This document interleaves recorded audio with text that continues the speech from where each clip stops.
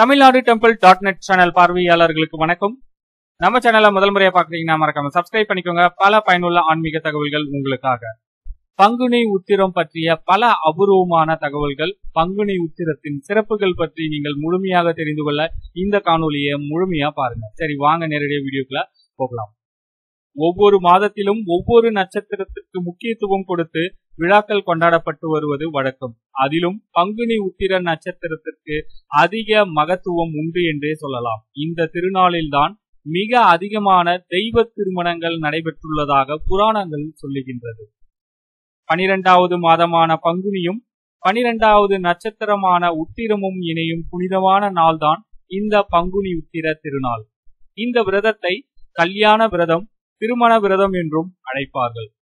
சிவபெருமான் அன்னை பார்வதியோடு மணக்கோலத்தில் சுந்தரமூர்த்தி நாயனாருக்கு மதுரையில் காட்சி அளித்த திருநாள் இந்த திருநாள்தான். அன்னை மீனாட்சியை திருமணம் செய்து மீனாட்சி சுந்தரேஸ்வரராக காட்சி அளித்ததும் இந்த திருநாளில்தான். ஆண்டுதோறும் மதுரையில் இந்த திருவிழா இந்த திருவிழாவை பங்குனி உத்திரத்தன்று மிக சிறப்பாக நடத்துவார்கள். சிவபெருமானின் தவத்தை கலைத்ததால் இறைவனின் நெற்றிக் கண்ணால் மன்மதன் எரிக்கப்பட்டான். ரதியின் வேண்டுதலால் மீண்டும் மன்மதன் உயிர் பெற்ற திருநாளும் இந்த பங்குனி உத்திர திருநாளில்தான். முருகன் தெய்வானையை இந்த நாளில் திருமணம் செய்து கொண்டார். அத்துடன் வள்ளியின் வள்ளியின் அவதார தினமும் இந்த பங்குனி உத்திர திருநாள்தான். பர்வதராஜன் தவத்தால் பத்மத்தில் அவதரித்த பார்வதியை சிவபெருமான் கரம் பிடித்த நன்னாளும் இந்த திருநாளே. ஸ்ரீரங்க மன்னார் ஆண்டாள் திருக்கல்யாண வைபவம் நடந்த நாளும் இந்த பங்குனி நாள்தான். மகாலட்சுமி பங்குனி உத்திர விரதத்தை அனுஷ்டித்துத்தான் ஸ்ரீ மகாவிஷ்ணுவின் மார்பில் முறையும் பாக்கியத்தையும் பெற்றார் மகாலட்சுமியின் அவதார நன்னாளும் இந்த பங்குனி உத்திர திருநாளே ஆகும். இந்த நாளில் வைணவ ஆலயங்களில் மணக்கோலத்தில் தாயாரும் திருமாலும் பக்தர்களுக்கு காட்சியளிப்பார்கள். அன்று காஞ்சி வரதராஜர் ஆலயத்தில் ஸ்ரீ பெருந்தேவி தாயார் சன்னதியில் ஸ்ரீதேவி பூதேவி மலையாள நாச்சியார் ஆண்டாள் மற்றும் பெருந்தேவி தாயார் சகிதமாக ஸ்ரீ வரதராஜர் பக்தர்களுக்கு காட்சியளிப்பார். காஞ்சியில் காமாட்சி ஏகாம்பரேஸ்வரர் திருமண விழா நடைபெறும் போது அதே மண்டபத்தில் ஏராளமானோர் திருமணம் செய்து கொள்வார்கள். தேவேந்திரன் இந்திராணி நான்முகன் கலைவாணி திருமணங்களும் நடைபெற்றது இந்த பங்குனி உத்திர நன்னாளில்தான். தசரத மைந்தர்கள் ஸ்ரீராமன் சீதை லக்ஷ்மணன் ஊர்மிளா பரதன் மாண்டவி சத்ருக்கணன் ஸ்ருதகீர்த்தி திருமணங்களும் பங்கின பங்குனி உத்திர திருநாளில்தான் ஒரே மேடையில் மிதிரையில் நடைபெற்றதாக புராணங்கள் சொல்லுகிறது. அழகுமிகு இருபத்தி ஏழு கன்னியர்களை சந்திரன் மனைவியாக ஏற்றுக்கொண்ட நன்னாளும் இந்த பங்குனி உத்திர நன்னாள்தான் ஆகும். பங்குனி உத்திர தினத்தன்று சில கோவில்களில் தீர்த்தவாரியும் நடைபெறும். அப்பொழுது அந்த தலங்களில் உள்ள கடல் ஏரி ஆறு குளம் கிணறு போன்றவற்றில் புனித நீராடினால் புண்ணியங்கள் பல கிட்டும் நமக்கு. பங்குனி உத்திர தினத்தன்று கன்னி பெண்கள் கல்யாண விரதம் கடைபிடித்து அருகே உள்ள ஆலயங்களில் திருமண கோல தெய்வங்களை தரிசித்தால் அவர்களுக்கும் கல்யாண வைபோகம் கூடும்.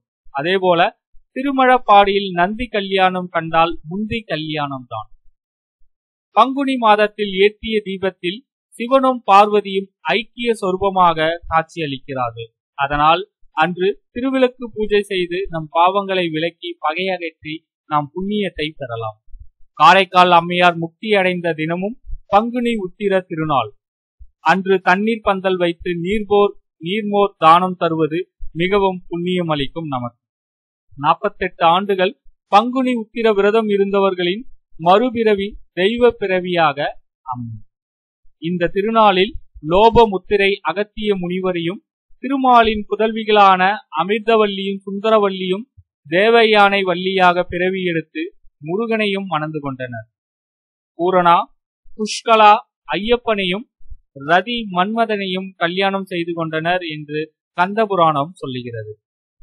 திருமணஞ்சேரி ஆலங்குடி ஸ்ரீ வாஞ்சியம் திருமகள் திருவிடந்தை திருவேதிக்குடி பிள்ளையார்பட்டி திருவிழி திருப்பரங்குன்றம் கன்னியாகுமரி காஞ்சிபுரம் மாங்காடு ஸ்ரீவில்லிபுத்தூர் திருச்செந்தூர் திருசக்திமுற்றம் கேரளத்தின் திருமணஞ்சேரி ஆரியங்காவு மற்றும் மணமுடிச்சநல்லூர் திருப்பாச்சேத்தி திருவெங்காடு திருவேல்விக்குடி திருநெல்வேலி திருவாரூர் வேதாரண்யம் திருவிடைமருதூர் கும்பகோணம் திருமழப்பாடி திருநல்லூர் திருப்பாலைத்துறை பந்தநல்லூர் மதுரை திருக்குற்றாலம் திருவேற்காடு திருசோற்றுத்துறை வைத்தீஸ்வரன் கோவில் திருநாகேஸ்வரம் பூவாலூர் சக்தி கோவில் திருமணமங்கலம் விசாலேஸ்வரன் கோவில் தாடிக்கொம்பு திருத்துறைப்பூண்டி ஆகிய திருத்தலங்களில் ஏதேனும் ஒன்றுக்கு சென்று திருமணம் விரைவில் முடிய வேண்டும் என வேண்டிக் கொண்டு வரலாம். வேண்டுதல் சீக்கிரம் உங்களுக்கு நிறைவேறும்.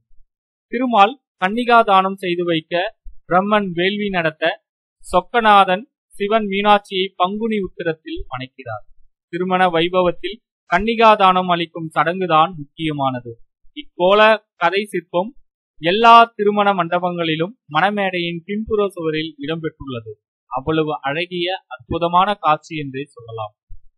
சிவ பார்வதி திருமண கோலங்களில் ஏதேனும் ஒன்றை தரிசித்தாலும் ஆலயங்களில் திருமண வைபவம் நடைபெறும் போது அதில் கலந்து கொண்டாலும் மங்களகரமான மனவாழ்வு பெற்று நீங்கள் மகிழ்வுடன் வாழலாம்.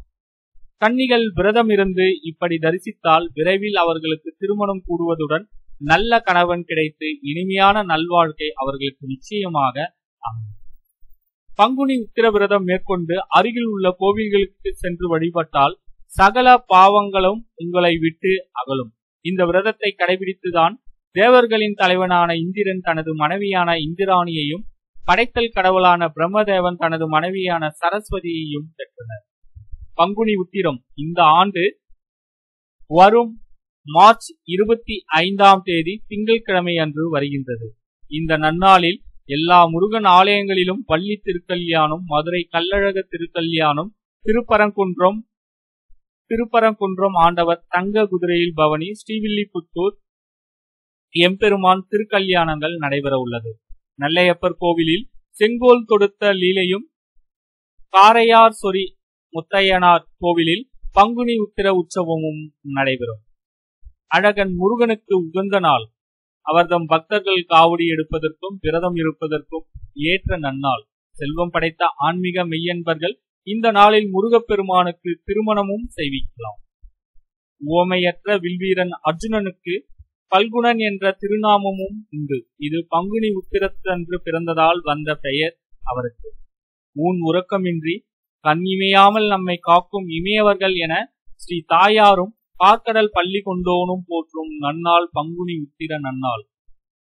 உத்திரம் தாயாரின் திருநட்சத்திரம் என்பது கூடுதல் சிறப்பு. பங்குனியில் மரங்களும் செடிகளும் பூத்து குலுங்கும். பனிதரும் குளிர்ச்சியும் சூரிய ஒளிதரும் வெப்பமும் இதமாகவும் பதமாகவும் இருக்கும். தமிழ் நூல்கள் இம்மாதத்தை பங்குனி பருவம் என்றும் இதில் கொண்டாடும் வசந்த விழாவினை பங்குனி விழா என்றும் சிறப்பித்து கூறுகிறது. பங்குனி உத்திர நல்ல நாளில் கூடுதலாக தவறாது வரமளிக்கும் ஆற்றல் சிவசக்திக்கும் உண்டு என்று பாராணங்கள் சொல்லுகிறது. சுந்தரமூர்த்தி நாயனாருக்கு ஸ்ரீ பரமேஸ்வரர் மணக்கோலத்தில் திருக்காட்சி தந்த தினமும் இந்த பங்குனி உத்திர திருநாள் என்பது தெரியுமா உங்களுக்கு? கொள்ளிடத்தில் அமைந்துள்ள ஸ்ரீ புலீஸ்வரி அம்மன் ஆலயத்தில் உள்ள தல விரிச்ச மலர்கள் இந்த பங்குனி உத்திர தினத்தன்றுதான் பூக்குமாம் திருவையாறு அருகில் உள்ள திங்களூர் சிவ ஆலயத்தில் பங்குனி உத்திர திருநாளில் மற்றும் லிங்க திருமேனியை சந்திரன் தனது கிரணங்களால் தழுவி வழிபடுவதை நாம் காணலாம்.